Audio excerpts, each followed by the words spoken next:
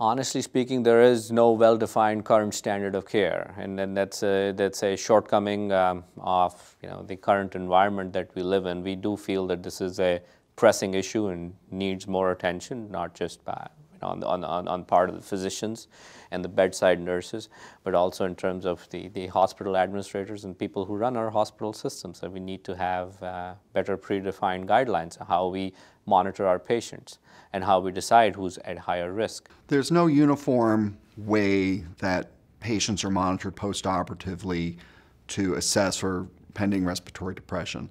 The most common method, though, is intermittent vital sign checks, where patients will have their vital signs checked every few hours or so. This is particularly problematic because patients can have a reassuring vital sign check because typically they wake up, they take deep breaths, and their saturations go up, and then they are left alone, and it can result in um, subsequent respiratory depressive events within very short periods of time after their reassuring vital sign checks. Nurses on the general care floor assess for respiratory compromise or respiratory depression by assessing respiratory rate, pulse oximetry, and sedation scale.